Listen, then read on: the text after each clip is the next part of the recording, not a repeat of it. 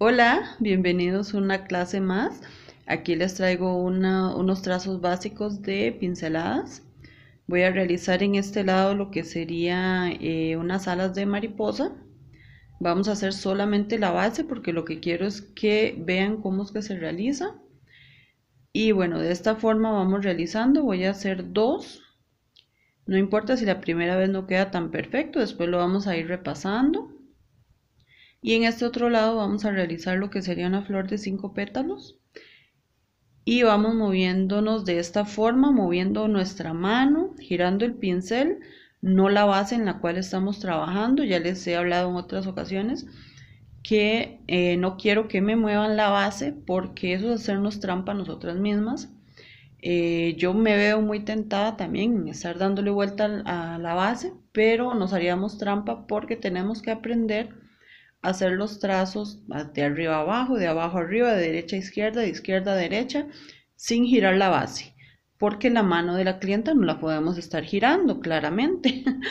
El papel le podemos dar vueltas y vueltas y vueltas para donde queramos, la mano de la clienta no. Entonces, de esta forma, como ven, yo estoy moviéndome yo, moviendo la mano, moviendo el pincel. No estoy girando para nada lo que es el, cartoncito en el que estoy trabajando. Entonces, de esta forma completamos lo que es la flor de cinco pétalos. Después vamos a repasar para que nos quede más perfecto ese trazo.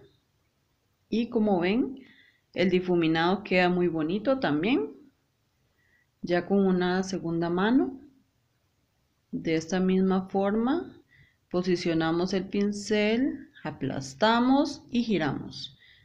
Lo posicionamos abrimos y giramos. Y así de esta forma todos. Vamos girando girando girando el pincel. Y así es como nos va completando ya lo que son nuestras flores. Y así nos quedan ya más, más perfectas, más difuminadas. Le podemos dar las capas que, gustemos para eh, tener el, el, color deseado ya bien bonito. Yo le aplico a veces dos o tres, depende. Si trabajamos sobre una uña matificada, pues por supuesto que la pintura va a pegar mucho mejor que si fuera sobre el esmalte así brilloso. Entonces tomen en cuenta eso, siempre matificar la uña antes de comenzar con las pinceladas. Y aquí vamos acabando ya nuestra florcita. Y bueno, aquí esta es la muestra que, que les doy. Esta es la forma en que tomamos la mano de nuestra clienta. Y aquí vamos trabajando y esta es la forma. De arriba a abajo, de abajo arriba y de un lado al otro para no tener que estar mangoneando a, nuestra clienta. y bueno, aquí vamos de nuevo. Vamos a realizar lo que sería una mariposa abierta. Vamos igual. Realizamos una ala. Después la otra.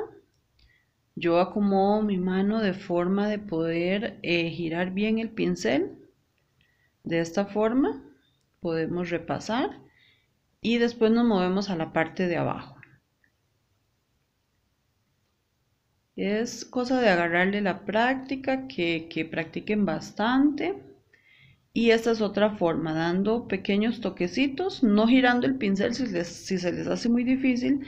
Entonces pueden ir dando pequeños toquecitos hasta completar lo que es el trazo.